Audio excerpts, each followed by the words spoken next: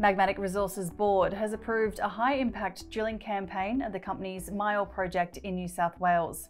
The company's Managing Director, Dr. Adam McKinnon, joins me now. Hi, Adam. Great to see you again. You too, Caroline. So, Adam, in your ASX announcement, you said this next round of drilling represents a step change in the company's approach. What are you targeting through the proposed campaign? This program really looks to expand the footprint of our Corvette and Kingswood deposits. Earlier in the year, uh, last couple of months actually, we released our maiden resource for those two deposits with 110 million tonnes at 0.33% copper equivalent.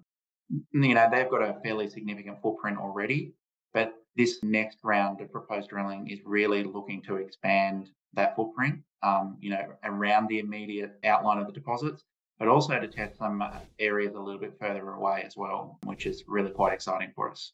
So when do you expect to start drilling? Yeah, at this stage we're looking to start in the middle of September, so only a couple of weeks away, and uh, we're currently waiting on uh, approvals from the um, the regulator, which we expect to get um, any time now. And you don't expect the program will take too long, is that correct? That's right. This program, uh, unlike our previous programs um, where we've averaged about 800 metres depth, these holes, um, we're looking at 8 to 10 holes, and they're they're going to have an average depth of around 250 meters. So we expect to be you know complete the program within about a four week period. So once you receive the results, um, how will they inform your next steps at Myall? Really, the point of this um, program is to test some of these areas and a whole number of new areas in and around the Kingswood and Corvette prospects.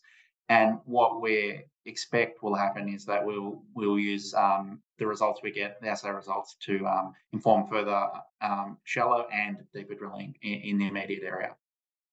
Adam, thanks so much for your time today. Thanks. That was Dr. Adam McKinnon, Managing Director of Magmatic Resources.